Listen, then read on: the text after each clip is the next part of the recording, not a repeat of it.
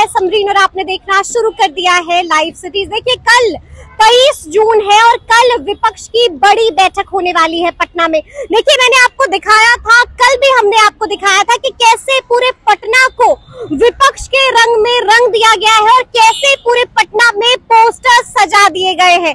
देखिए, कल जब मैंने आपको दिखाया था तो आपने देखा था कि आपने भी पोस्टर लगाया था। समाजवादी पार्टी के द्वारा भी पोस्टर्स लगाए गए थे। आपने ये भी देखा था कि किस तरह से पोस्टर्स के ज़रिए अपने मैसेज देने की कोशिश भी की जा रही थी। लेकिन आज हम आपको एक ऐसा पोस्टर दिखाने जा रहे हैं, जिसने एक बार फिर से चर्चाओं के बाज़ार को गर्म कर दिया है। देखिए, मेरे पीछे आप देख सकते हैं कि वही पोस्टर है जिसकी हम बात कर रहे हैं। साफ़ लिखा हुआ है यहाँ पर, न आशा है, न विश्वास है, संभल कर रहना देश के लोगों। ये नीतीश कुमार है, मोदी जी के खासम खास है। और लिखा हुआ है, भावी प्रधानमंत्री 2024 अरविंद केजरीवाल जी। ये पोस्टर जो है, आम आदमी पार्टी, यहाँ पर लिखा हुआ है और यहाँ पर लिखा हुआ है विकास कुमार ज्योति, जो कि आम आदमी पार्टी के खुद को कार्यकर्ता बता रहे हैं, खुद को। तो आप देख रहे हैं कि किस तरह से यहाँ पर एक पोस्टर लगा दिया गया देखिए, ये पोस्टर किसने लगाया है? ये पोस्टर क्या मंशा से लगाई, किस मंशा से लगाई गई है, ये तो हम आपको नहीं बता सकते।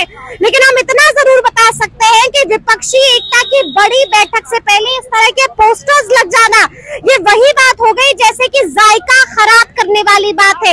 यानी कि इस विपक्षी एकता के रंग में भंग डालने वाली बात है। देखिए, इस पोस्टर के कई सारे मायने भी निकाले जा रहे हैं। देखिए, हम भी बता नहीं सकते कि ये पोस्टर किसने लगाया है। लेकिन हाँ ये बात बिल्कुल तय है कि विपक्षी एकता की बैठक से पहले इस तरह के पोस्टर्स अब कई सवाल खड़े कर रहे हैं। आपको हम वो भी पोस्टर दिखाएँगे जो आम आदमी पार्टी के द्वारा लगाया गया था और उसमें क्या मैसेज दिया गया है, वो भी हम दिखाएँगे। तो देखिए, यहाँ पर एक और पोस्टर लगाया गया है। इसमें साफ़ लिखा गया है की देश के लाल अरविंद केजरीवाल का बिहार के क्रांतिकारी धरती पर स्वागत एवं अभिनंदन है और ये पोस्टर यहाँ पर लगाया है सुनील कुमार यादव ने। देखिए, हमने आपको दो पोस्टर्स दिखाए हैं। दो पोस्टर्स आम आदमी पार्टी के द्वारा लगाए गए हैं, लेकिन दोनों में मैसेज अलग अलग दिया गया है। अब सबसे बड़ा सवाल ये खड़ा होता है कि आखिर विपक्षी एकता की बैठक से पहले कौन इस रंग में भंग डालने की कोशिश कर रहा है?